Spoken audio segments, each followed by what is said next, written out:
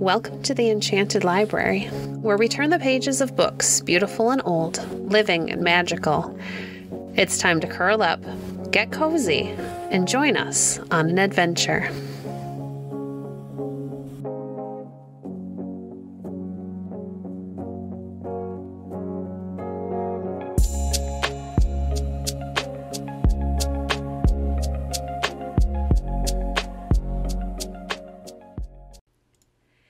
Today we're reading from The Wonder Book by Nathaniel Hawthorne, The Golden Apples. Yes, it was the self same old man of the sea whom the hospitable maidens had talked to him about. Thanking his stars for the lucky accident of finding the old fellow asleep, Hercules stole on tiptoe toward him and caught him by the arm and leg. Tell me, cried he, before the old one was well awake, which is the way to the garden of the Hesperides?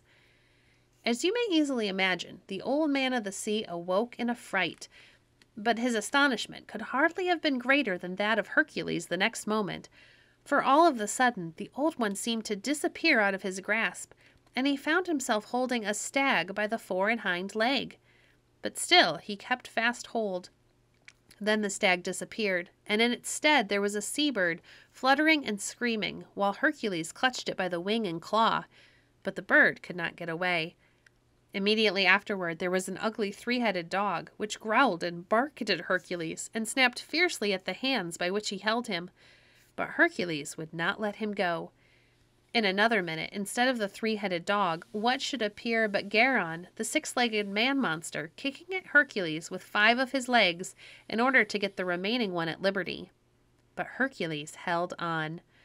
By and by, no Geryon was there, but a huge snake, like one of those which Hercules had strangled in his babyhood, only a hundred times as big, and it twisted and twined about the hero's neck and body, and threw its tail high into the air, and opened its deadly jaws as if to devour him outright, so that really was a terrible spectacle.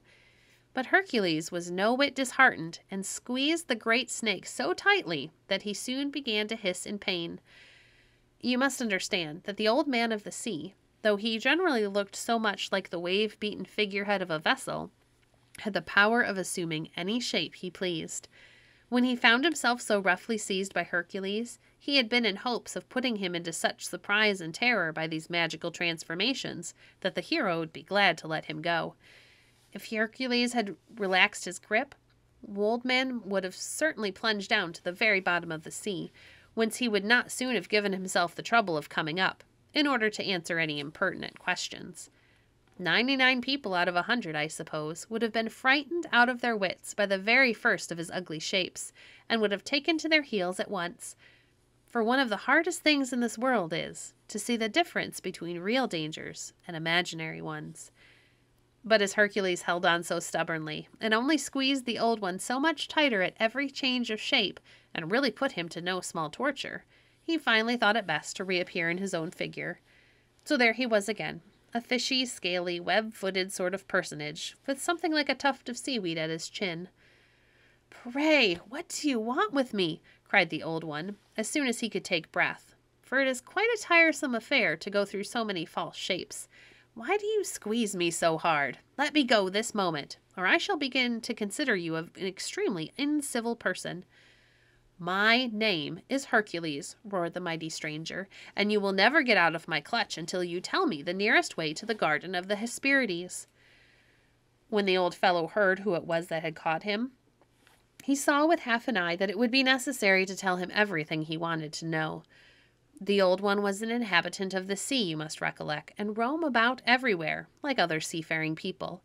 Of course, he had often heard of the fame of Hercules, and of the wonderful things he was constantly performing in various parts of the earth, and how determined he always was to accomplish whatever he undertook.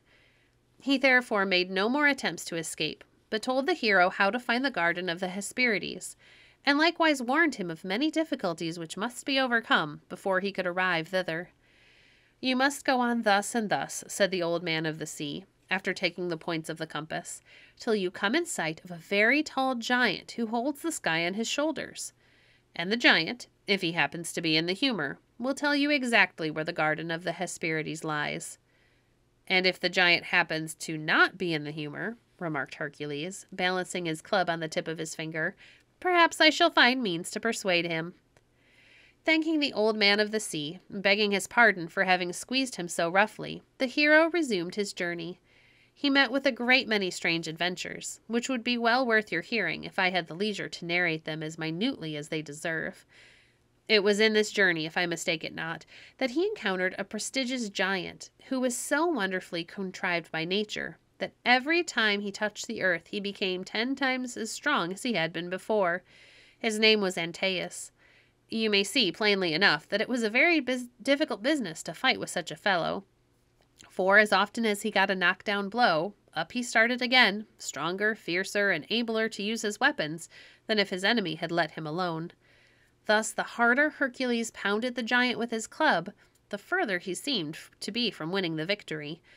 I have sometimes argued with such people, but never fought with one. The only way which Hercules found it possible to finish the battle was to by lifting Antaeus off his feet into the air and squeezing, squeezing, squeezing him until finally the strength was quite squeezed out of his enormous body. When this affair was finished, Hercules continued his travels and went to the land of Egypt, where he was taken prisoner, and would have been put to death if he had not slain the king of the country and made his escape. Passing through the deserts of Africa and going as fast as he could, he arrived at last on the shore of the great ocean. And here, unless he could walk on the crest of the billows, it seemed as if his journey must needs be at an end. Nothing was before him save the foaming, dashing, measureless ocean. But suddenly, as he looked toward the horizon, he saw something a great way off that he had not seen the moment before. It gleamed very brightly, almost as you may have beheld the round golden disk of the sun when it rises or sets over the edge of the world. It evidently grew nearer, for at every instant this wonderful object became larger and more lustrous. At length it had come so nigh that Hercules discovered it to be an immense cup or bowl, made either of gold or burnished brass. How it had got afloat upon the sea is more than I can tell you. But there it was, at all events, rolling on the tumultuous billows which tossed it up and down, and heaved their foamy tops against its sides, but without ever throwing their spray over the brim. I have seen many giants in my time, thought Hercules, but never one who would need to drink his wine out of a cup like this. And true enough, what a cup it must have been. It was as large as as large, uh, but in short, I am afraid to say how immeasurably large it was. To speak within bounds, it was ten times larger than a great mill wheel, and all of metal as it was, it floated over the heaving surges more lightly than an acorn cup adown the brook. The waves tumbled it onward till it grazed against the shore within a short distance of the spot where Hercules was standing. As soon as this happened, he knew what was to be done, for he had not gone so through so many remarkable adventures without learning pretty well how to conduct himself whenever anything came to pass a little out of the common rule. It was clear as daylight that this marvelous cup had been set adrift by some unseen power and guided hitherto in order to carry Hercules across the sea on his way to the garden of the Hesperides.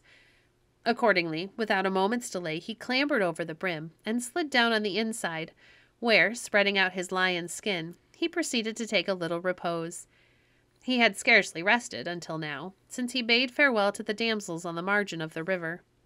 The waves dashed with a pleasant and ringing sound against the circumference of the hollow cup. It rocked lightly to and fro, and the motion was so soothing that it speedily rocked Hercules into an agreeable slumber. His nap had probably lasted a good while when the cup chanced to graze against a rock, and in consequence immediately resounded and reverberated through its golden or brazen structure a hundred times as loudly as you ever heard a church bell. The nose awoke Hercules, who instantly started up and gazed around him, wondering whereabouts he was. He was not long in discovering that the cup had floated across a great part of the sea and was approaching the shore of what seemed to be an island. And on that island, what do you think he saw? No, you will never guess it, not if you were to try 50,000 times.